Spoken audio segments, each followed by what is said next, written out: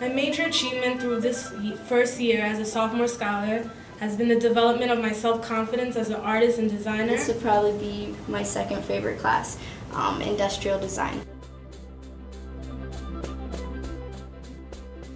I I have a passion for fashion, so I end up doing fashion design. I grew up in Haiti.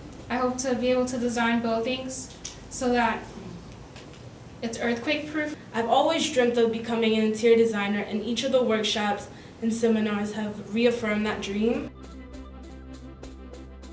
One of my favorite workshops was the Jello ideation program. We got to work with some really great mentors, Carla and Mike. And then when we finally got there, it didn't stop. We were just so excited the whole time. The instructor that we had, he was probably one of the most amazing teachers there because he pushed you to do your best.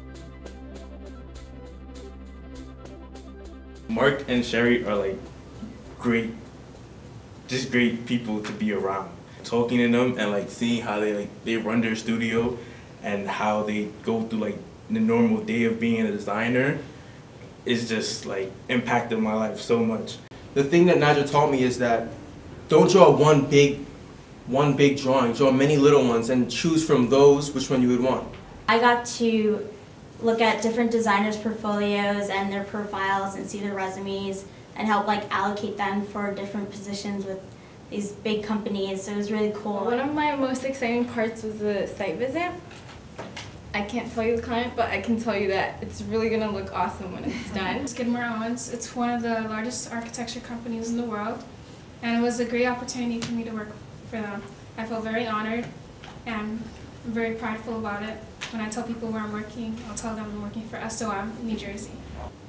I worked with Mark and everybody else in the studio to kind of come up with the colors and how it's going to be designed. I got to see the pressure.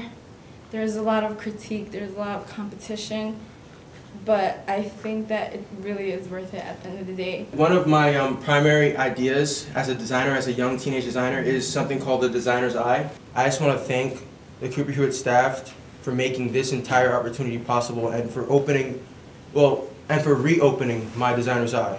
Thank you.